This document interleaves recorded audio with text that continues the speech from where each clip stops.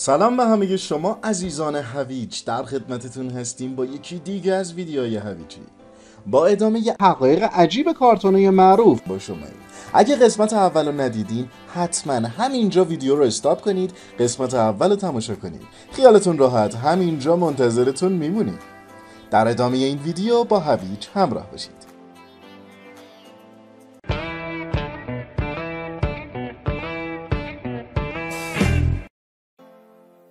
شماره یک. تنها فیلم ها نیستن که سعی می‌کنن تاریخ رو با دقت علمی به مردم بگن. استودیوهای های انیمیشن هم مشاورانی استخدام می‌کنن تا به اونا در خلق دنیای جذاب و پیچیده کمک کنن. کارتون موانای دیزنی هم از این قاعده مستثنا نیست. این استودیو یه گروه دیویست نفره از ستاره شناسای با تجربه رو دور هم جمع کرد تا آسمون شب پلین زیرو بازسازی کنه. اگه یادتون باشه این کارتون 200 سال پیش رو نشون می‌داده. برای همین دانشمندا باید با دقت جای ستاره ها رو در اون دوران محاسبه می‌کردن. البته بعیده که کسی غیر از خود ستاره شناسا بتونه درستی نسخه نهایی رو تایید کنه.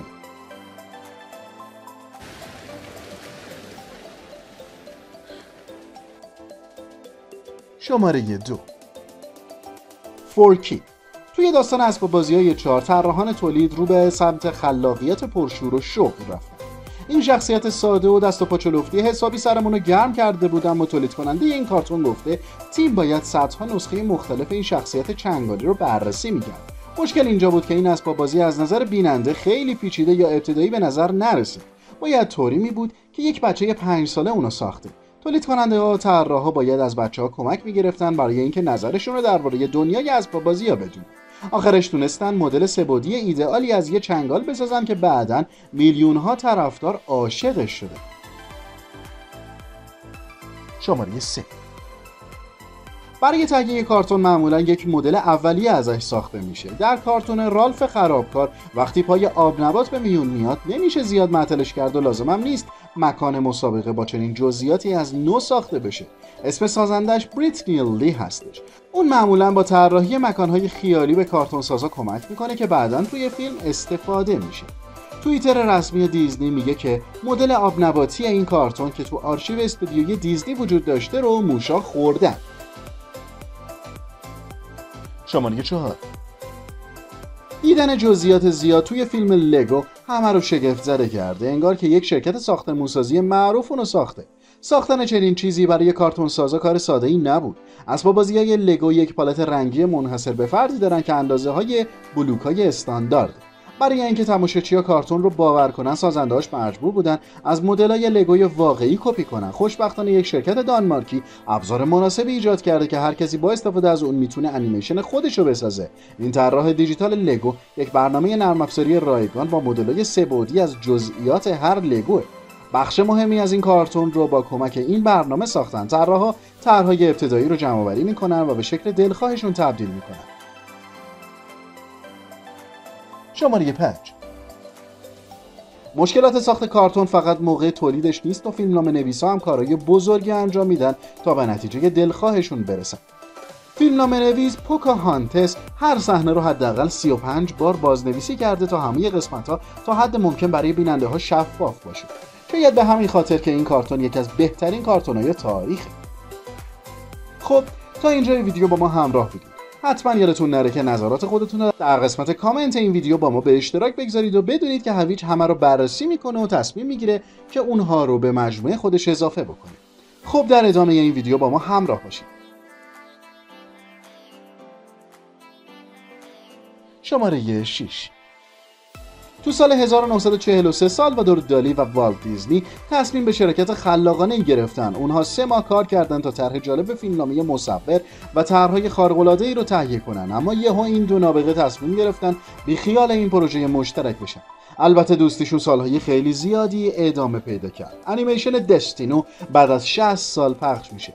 وقتی پسر دیزنی اتفاقی طرحهای پدرش رو پیدا می‌کنه یه تیمی از کارتونسازا رو استخدام می‌کنه تا اونو دوباره بسازن. این انیمیشن داستان فوق العاده که عشق کرونوس خدای زمان رو به یک زن معمولی به اسم دالیا تعریف می‌کنه.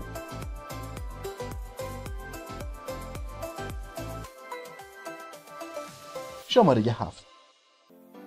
این مرد یعنی جان راتزنبرگر تو تو هر فیلمی که استودیوی پیکسار ساخته به جای شخصیت ها حرف زد اینا فقط یک تعداد از نقشه معروفی که اون به جاشون حرف زد آدم برفی کارتون کارخونه هیوله ها مارک ماشین ها و حتی خدمتکار مصطفی در راتاتوی یا موش سراشپس اون چطور این همه نقش متفاوت رو اجرا می‌کنه؟ همه چی با درآوردن صدای قلک خوکی داستان اسباب بازی یک شروع شد. انیمیشن های سبودی در سال 1995 این صنعت رو تغییر داد و به شهرت جهانی پیکسار کمک کرد و جان تبدیل به یک آدم خیلی موفق شد. همیشه برای اون یه جایی تو پروژه های جدید این استودیو وجود داره حتی اگه فقط یه نقش یه خطی باشه.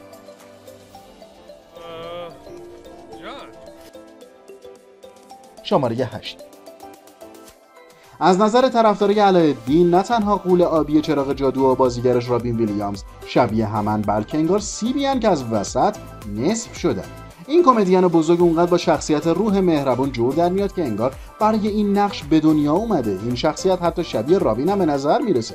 گفتن حرفای معروفش هم تصادفی نبوده. این قول رو کلا بر اساس اجراهای این هنرپیشه و کمدین معروف شکل بدنش رفتارش سرعت گفتارش و تکه کلامای معروفش ساختن. سازنده های کارتون ریسک بزرگی کردن چون اگه ویلیامز این نقش رو قبول نمی‌کرد مجبور بودن خیلی از صحنه ها رو بازنویسی کنن. خوشبختانه این هنرپیشه قبول می‌کنه و اجرای بینظیرش رو به دنیا نشون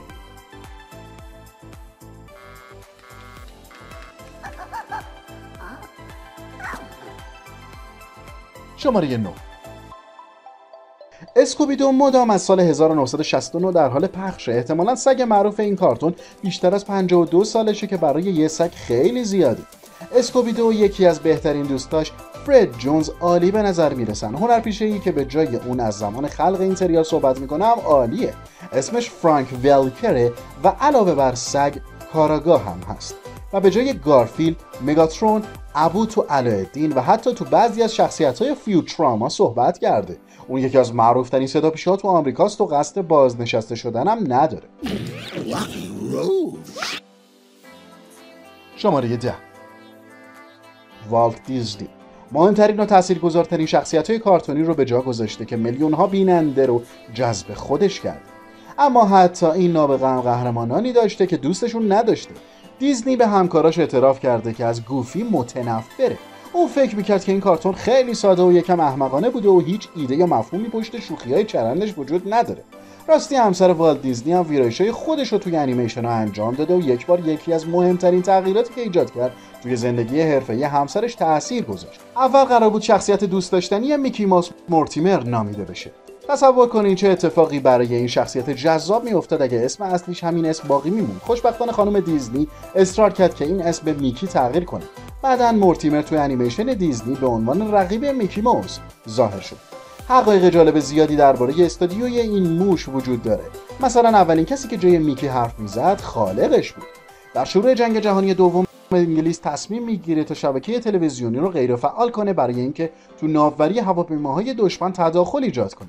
و در کمال ناباوری آخرین برنامه‌ای که به نمایش در اومد شوی میکی موس جدید بود. وقتی جنگ تموم شد صاحبای بی بی سی برای اینکه مردم رو جذب کنن اول میکی موس رو شروع کردن. به این ترتیب این شرکت سعی کرد این تصور رو ایجاد کنه که داستانه با مزی میکی تو اون 6 سال طولانی یک باره تموم نشده. شما می‌تونید ادامه ویدیوهای ما رو در انتهای همین ویدیو مشاهده کنید. ممنون که با هویج همراه هستید.